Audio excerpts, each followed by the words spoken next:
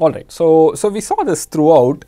Uh, so one of the useful skills you will need in probability theory is, uh, you know, translating English into, uh, you know, language of events. Okay. So we saw uh, soon enough, I mean, just now how, uh, you know, even but not a multiple of 3 got translated into events as, you know, A intersect B complement.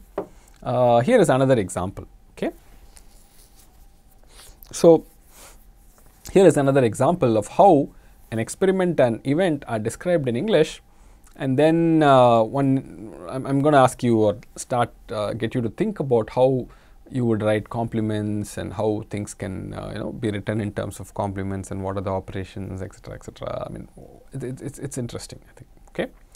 Uh, so here's the example the here's the experiment. What is the experiment? Uh, there are five persons who have identical hats okay? And their hats get mixed up okay? So this could be people in a you know cricket team or something like that they go by bus somewhere and they put their caps into some box and the caps get mixed up right? So this can happen. And then each person picks a cap at random a hat at random right? So this is what they're doing. Um, so so that's that's the experiment okay? And uh, now we are interested in events right? So the outcome is what? What is the outcome? Who got what hat right? So that's the outcome. Uh, initially people come in with their own hats. They put it into a box and then they pick up a hat at random. What hat did each person get? That's the outcome right? So that's what that's the those are all the outcomes. Then we will have interesting events uh, working uh, with these outcomes. So, notice we, we do not try to write the sample space here, we do not try to define the outcome very precisely and come up with a representation for it and then write the sample space out in whole glory. You could do that, you could say you know H1, H2, H3, H4, H5, P1, P2, P3, P4, P5. Who are these people? H1 is the 5 hats, P1 is what? Each person. Initially they come with P1 to H1, P2 to H2 etc. and then what can happen? P1 can get H3, P2 can get like you know any every possible rearrangement of 1, 2, 3, 4, 5 is what you are looking at as an outcome. So, you have, to, you have to you have to represent all that and think of all that. You could do it, uh, but you know maybe we should just try to do the problem you know without really going through all that trouble. So, that is also something that is interesting. Okay. Uh, here are events. The first uh, event A is that uh, you know uh, no person gets their own hat right. So, this event has a name in uh, mathematics, it is called a derangement. Okay.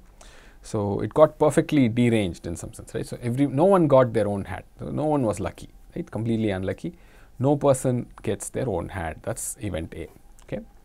Uh, look at event B, event B is a very uh, specific simple event, it is every person gets their own hat.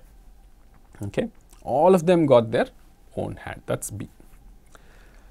Uh, event C says at least one person does not get their own hat. Okay. So, hopefully that is clear to you. At least one person, okay, not everybody got their own uh, own hat, right? That is the thing.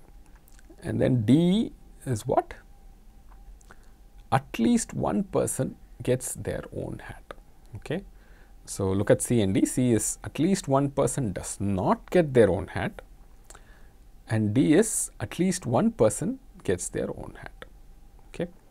So, I, I want to ask first about complements. What is A complement, B complement? Now, in English, uh, when, when you think of complement, may, maybe you have a different way of thinking of complement, but uh, this is this is a more precise set theoretic sort of notion. So, you have to be very careful when you think of complement. So, what is A complement, right? No person gets their own hat. So, if you think of A complement, it is uh, sometimes tempting to say that every person getting their own hat is a complement of this, but remember this is not an English language complement, it is a very precise set theoretic definition. Okay? So, no person gets their own hat, the complement if you think about it will end up being at least one person gets their own hat, right. So, no person gets their own hat, the complement of that, the when will you say A did not occur? Okay, so A occurs means no person got, gets their own hat. No, no person 1 is not wearing H1, he's, he's got something else. Okay, that's uh, event A. Event A occurring is that. When will you say event A did not occur? At least one person must have got their own hat, right? Right, so that's D. So A complement ends up being D. Okay, so similarly, B complement will end up being C. Okay, so think about it. Every person gets their own hat is B. Okay, and C is at least one person does not get their own hat. Okay, so that will end up occurring when B did not occur. Okay, when, when you have uh, B occurring, every person gets their own hat. When you say B does not occur, then there must be at least one person who did not get their own hat. Okay, so you see B complement is equal to C and A complement is equal to D. Okay, uh, if you if you actually take the trouble of writing down the sample space for this, then you will understand maybe a bit more clearly how this works out. But you can also see, think about it, and argue it out. Okay. Uh, the next question is: Are A and B disjoint? Okay. Think about this question a little bit. Okay. The question. The look at the two even. No person gets their own hat. Every person gets their own hat. A and B are they disjoint? Okay. Yes, isn't it? So, A and B are uh, disjoint. You cannot have, uh, you know, so if, if, A occurred, no person should be getting their own hat and you definitely uh, B did not occur, right. So, B should be uh, disjoint from A, okay. So, there is no case of A, uh, you know, one outcome which would have both A and B occur at the same time. So, A intersect B is null set, right. So, there is nothing in the intersection of A and B. So, if A occurred, B did not occur, B occurred, A did not occur. Okay, we know that for sure. Okay, so A and B are disjoint indeed, yes. Uh, what is A intersect B complement? Okay, so when I say what is, I mean what is it in English, right? So you can you can of course say A intersect B complement is A intersect B complement. There's nothing more to say in it, but we're talking about uh, what it means. Okay, so B complement is uh, what is it's going to be C. At least one person does not get their own hat. Okay, and A is what no person gets their own hat. Now, B is disjoint from A. So, if you look at B complement and you intersect it with A, think of the Venn diagram, right? A and B are disjoint. You look at B complement and intersect with A, what will you get? You will get A itself, isn't it? So, A itself is the answer. So, A intersect B complement is nothing but no person gets their own hat. Okay. So, think about that, think about these kind of things a little bit and uh, you'll, get uh, you'll get a better sense of how you know uh, this this notion of events and uh, the English uh, interpretation of what happens in the experiment or physical interpretation of what happens in the experiment, how they are tied together and how when you complement something happens, when you, you know when you take intersection something else happens and all these things are very important. So, this kind of skill is very important. Every problem you look at in probability theory at least the toy problems we look at or even the real problems we look at will have something like this. Take a look at this one for instance. Here's an IPL example just for uh, fun I came up with one simple IPL example maybe. Okay, so here again you will see how all these unions and intersections uh, will start uh, you know sounding something something like you know how do you translate that into what is actually happening in the experiment. Okay, so here's the example. Uh, here's the experiment. Okay, there is one over maybe in an IPL match. It has six deliveries. Uh, in each delivery, let us say 0, 1, 2, 3, 4 or 6 runs may be scored. We do not allow other possibilities of course, that is not the only thing that can happen. Uh, you can get 5 runs or even 7 runs if you allow for extras, if you allow for overthrows and things like that, all that can happen. We do not allow for all that, we just say 0, 1, 2, 3, 4 or 6 runs may be scored. Okay. Uh, here are the events I am interested in. Event A is no fours, okay. event B is no sixes and event C is exactly 20 runs are scored in this over. Okay. So, that is uh, event A, B and C and one may ask a question what is A union B? A union B is over had no fours or over had no sixes. Okay. So, that is uh, something interesting think about what that means. So, supposing in an over a boundary was scored okay, and no sixes were scored. Okay. A union B would have still occurred. Okay. If a boundary is scored A did not occur but no sixes were there, only boundaries were there, all six were boundaries, let us say, say. Then in that case, A did not occur, but B occurred. But because B occurred, A union B is A or B, we can say A, uni A union B still occurred. Okay.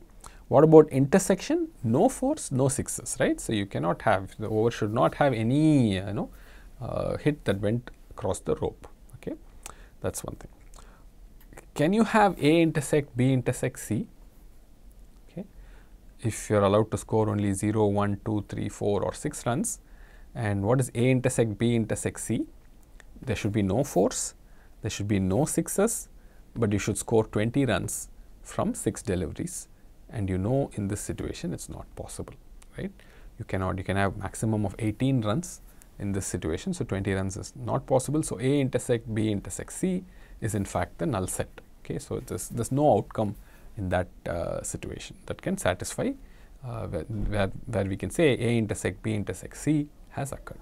Okay, so hopefully this gives you a feel for how you know uh, the interpretation for uh, an event or an occurrence in the experiment relates to the the way in which we think of them as subsets and unions and intersections and all that. Okay, uh, so I've, I've, put down here just one more result which might be useful for you. Uh, this is called De Morgan's law. Uh, we, we say A, A union B, and what about A union B complement? Okay, so if, if you were to do A union B complement or A intersect B complement, in set theory there is this De Morgan's law. This, these laws are very very useful. Uh, quite often uh, they, they will come to your rescue when you want to interpret an event given uh, in English. Uh, A union B whole complement is A complement intersect B complement and A intersect B whole complement is A complement union B complement. Uh, there are proofs for this result. I'm, I'm, not going to go into details there, but this is quite useful. So, for instance, uh, if you say no fours and no sixes in the over A intersect B, if you want to take complement of that, what should have happened? You know, no fours and no sixes, even one boundary is scored, a you will be in A intersect B complement, right? So there should be either one four or one six. So at least one four or at least one six must be there. At least one hit outside of the boundary ropes must be there for A intersect B complement. Look at A complement union B complement. A complement is what? At least there was one four. B complement is what? At least there was one six. So A complement or B complement is the same as A intersect B whole complement. Okay, so I gave you a proof by illustration. Okay, just gave you an example of how that works, it's possible to prove this properly if you are interested also. Okay.